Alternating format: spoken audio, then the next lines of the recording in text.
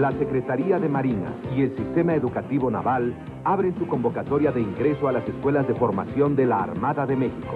Si tienes entre 15 y 21 años y terminaste la secundaria, las carreras técnico-profesionales de Administración Naval, enfermería Mecánica de Aviación. y maquinaria naval pueden ser tu mejor opción. Mayores informes en la Secretaría de Marina, Dirección General de Educación Naval, zona o sector naval más cercano a tu domicilio.